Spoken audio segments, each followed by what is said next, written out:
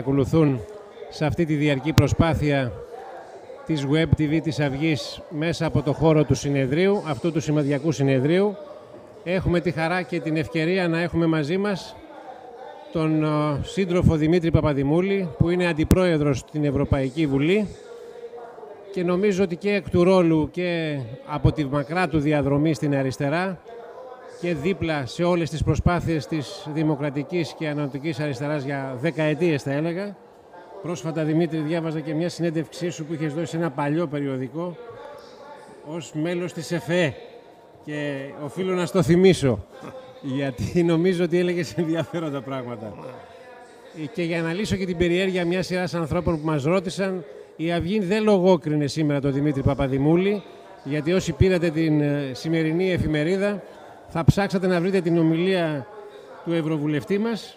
Δεν τη λογοκρίναμε από μια αυλεψία στη συνεννόηση. Δεν δημοσιεύτηκε σήμερα. Θα είναι, αν δεν κάνω λάθος, Πέτρο, ελπίζω να μην πέφτω έξω εκεί, γιατί μετά της... δικαίως θα λέει ο Δημήτρης ότι τον λογόκρινα εγώ. Μαζί με τους σημερινούς ομιλητές. Θα ήθελα λοιπόν τώρα ο σύντροφος ο Παπαδημούλης να μας πει, επειδή είχαμε και πρόσφατη τη συνεδρία της Ευρωβουλής για τα ζητήματα τα δικά μας, πώς βλέπει τη σχέση της Ευρωβουλής με την προσπάθεια της ελληνικής κυβέρνησης και της ελληνικής αριστεράς σε αυτή τη δύσκολη πραγματικότητα. Μέχρι τώρα, από τότε που άρχισαν να εφαρμόζονται μνημόνια στη χώρα, όλα αποφασιζόντουσαν πίσω από κλειστές πόρτες, στο Eurogroup και στην Κομισιόν. Μετά από πρόταση της κυβέρνησης Τσίπρα και μετά από πολλές προσπάθειες που κατέβαλαν οι ευρωβουλευτές του ΣΥΡΙΖΑ και η Ευρωμάδα της Αριστεράς, καταφέραμε να ανοίξει μια χαραμάδα διαφάνειας και στη συνέχεια μια πόρτα δημοκρατικής λογοδοσίας. Συγκροτήθηκε μια επιτροπή του Ευρωκοινοβουλίου η οποία παρακολουθεί, εποπτεύει με δημόσια συνεδριάσεις το πώς πάει η περίφημη συμφωνία της Ελλάδας με τους δανειστές. Και αυτή η διαφάνεια και η δημοκρατική λογοδοσία μας διευκολύνει να διεκδικούμε τους στόχους μας, διευρύνοντας τα ερίσματά μας και τις συμμαχίες μας.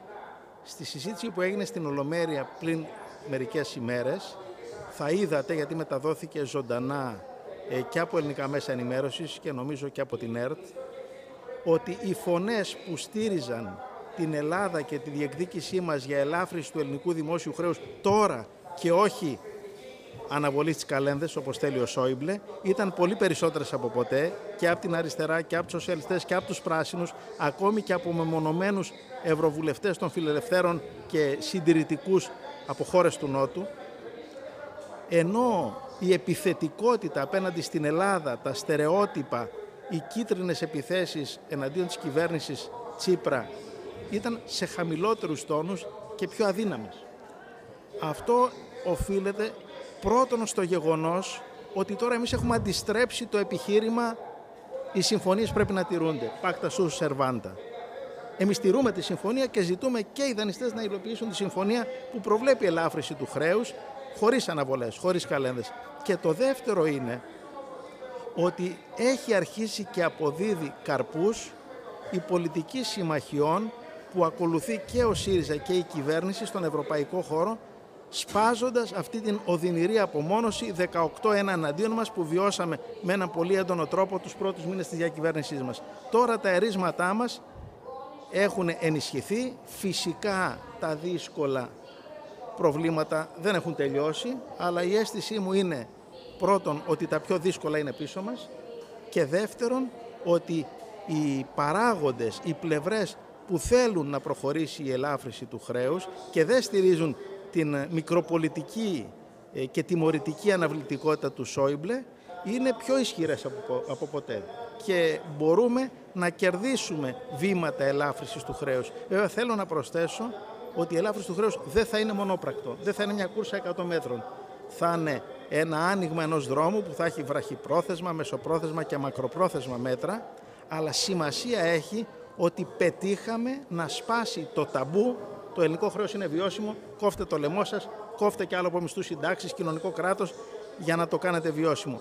Διαδεχθήκαμε μια κυβέρνηση που διεκδικούσε όχι ελάφρυση του χρέους, αλλά πιστοποιητικό βιωσιμότητας του χρέους. Και καταφέραμε με την απόφαση του Eurogroup να ομολογηθεί ότι το ελληνικό χρέος δεν είναι βιώσιμο και τώρα πια χρειαζόμαστε αυτή η απόφαση να μεταφραστεί σε συγκεκριμένα μέτρα. Δεν το διεκδικούμε μόνο για δημοσιονομικούς λόγους, γιατί όντως τα πρώτα χρόνια μέχρι τα που μας ε, περιμένουν οι δανειακές μας ανάγκες δεν είναι μεγάλες. Το διεκδικούμε γιατί αν έχουμε ένα πιο καθαρό δρόμο για την πορεία του χρέους και μια μεγαλύτερη σιγουριά ότι το χρέος καθίσταται βιώσιμο σε μια προοπτική, αυτό θα είναι πιστοποιητικό σταθεροποίησης, μαγνήτης επενδύσεων και θα διευκολύνει η ανάπτυξη που όλοι περιμένουν ότι θα έχουμε την επόμενη χρονιά να είναι διατηρήσιμη, να βαστίξει κι άλλο και έτσι να έχουμε ταχύτερη μείωση της ανεργίας που όπως είπε σωστά ο πρόεδρος του ΣΥΡΙΖΑ στην ομιλία του την εναρκτήρια την Πέμπτη το βράδυ είναι η προτεραιότητα των προτεραιοτήτων και για την κυβέρνηση και για τη χώρα.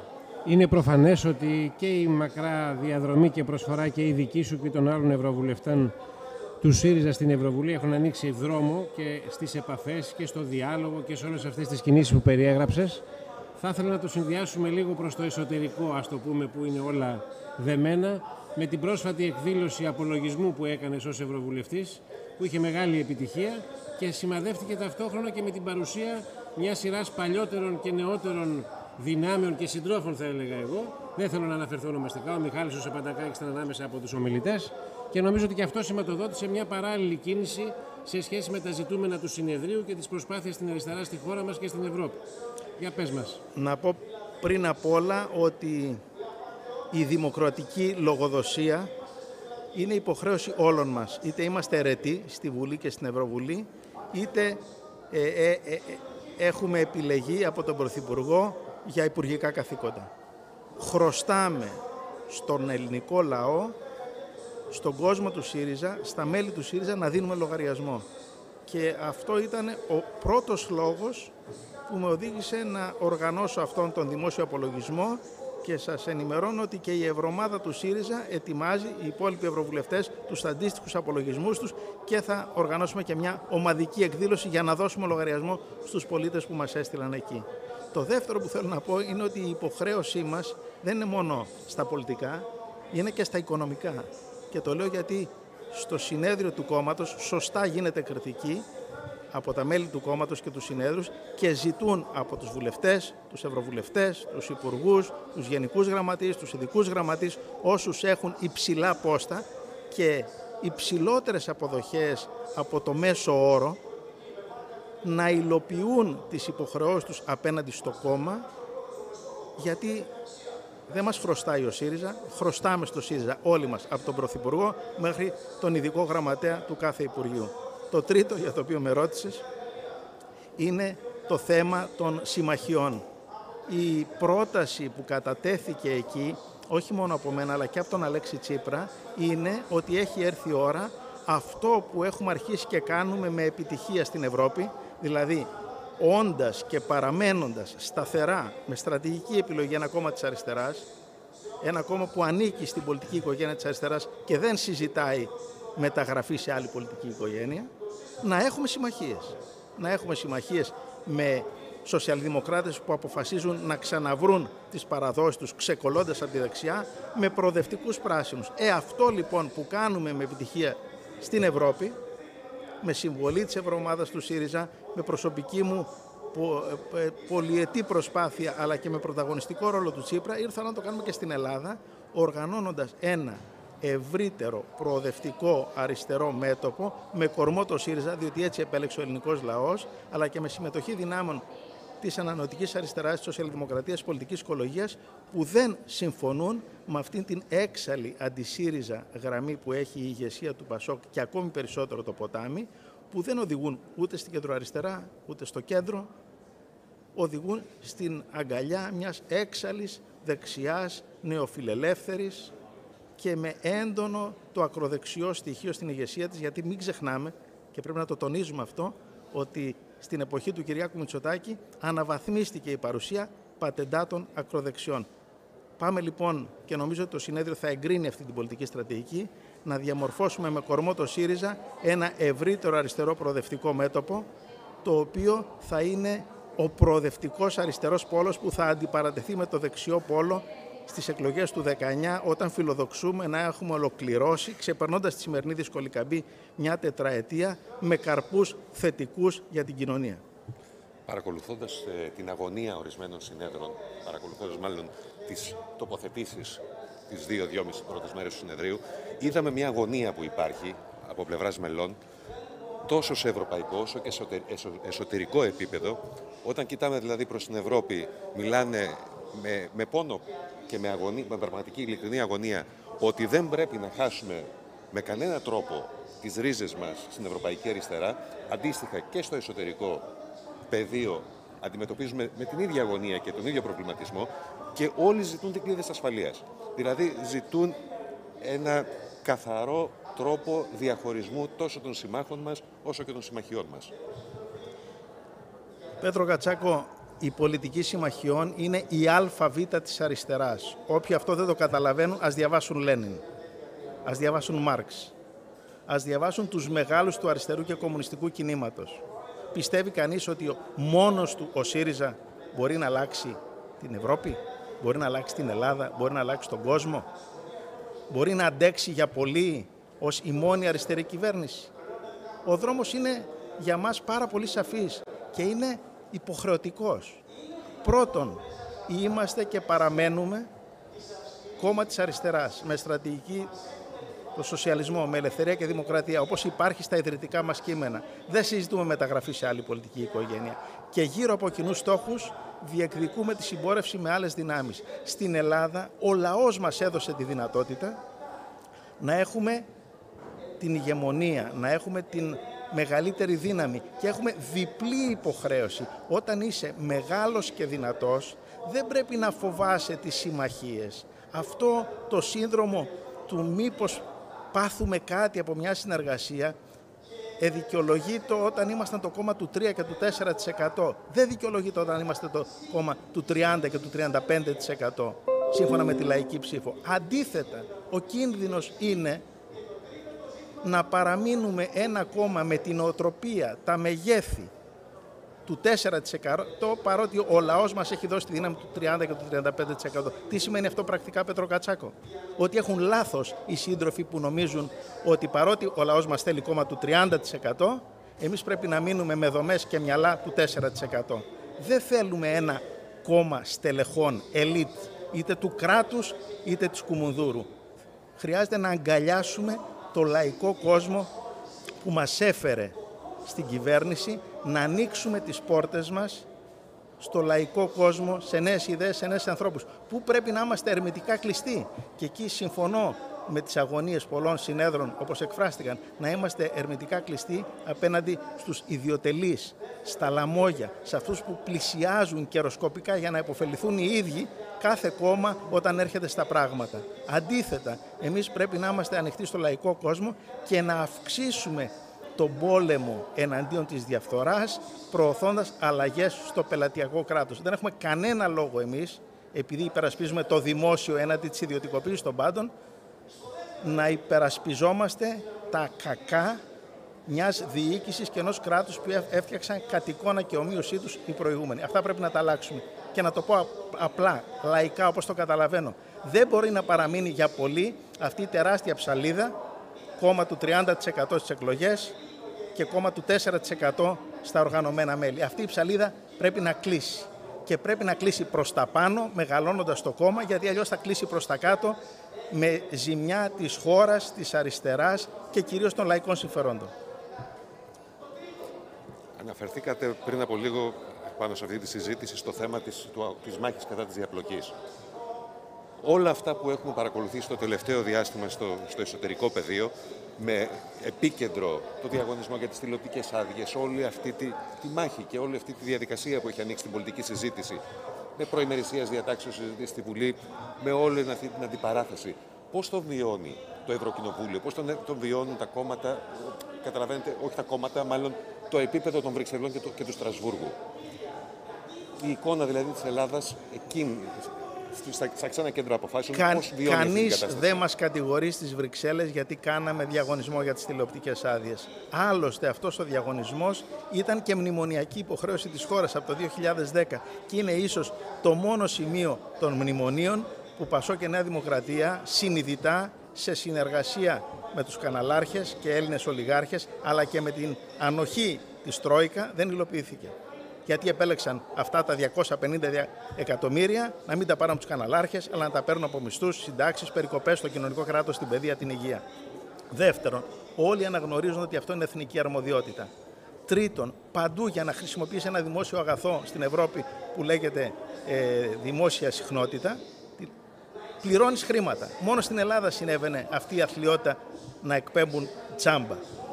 Από εκεί και πέρα, το κρίσιμο θέμα είναι αν εμείς θα δώσουμε συνέχεια σε αυτή την τομή, επιβάλλοντας την νομιμότητα και εκμοντερνίζοντας την Ελλάδα.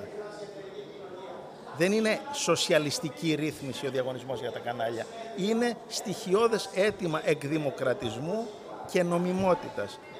Αυτή την ώρα που έχει προχωρήσει αυτό και έχει τη λαϊκή στήριξη παρά τον τρομερό πόλεμο που δεχόμαστε, νομίζω ότι το κρίσιμο θέμα είναι να προχωρήσει επιτέλους με συνένεση ευρύτερη και με αλλαγή στάση από τη Νέα Δημοκρατία η συγκρότηση του Εθνικού Ραδιοτηλεοπτικού Συμβουλίου έτσι ώστε τα βήματα μετάβασης από το προηγούμενο καθεστώς της ανομίας στο καινούριο καθεστώς της νομιμότητας να γίνουν με την ευρύτερη δυνατή συνεννόηση. Και από αυτή την άποψη θεωρώ πολύ σωστή την κατάληξη που είχε η συνεργασία του Προέδρου της Βουλής με τον αρμόδιο Υπουργό για την ε, απόσυρση επί του παρόντος της τροπολογίας που κατατέθηκε προκειμένου να δοθεί η πρώτη προτεραιότητα στο να συγκροτηθεί το Εθνικό Ραδιοτηλεοπτικό Συμβούλιο και αυτό να οργανώσει τα επόμενα βήματα με την ευρύτερη δυνατή συνένεση. Θα τους ταράξουμε στη νομιμότητα, όπως έλεγε και ο Ηλίας Ηλίου με την εμπειρία της Ευρωβουλής και όχι μόνο, τη συνολική που έχει τόσα χρόνια.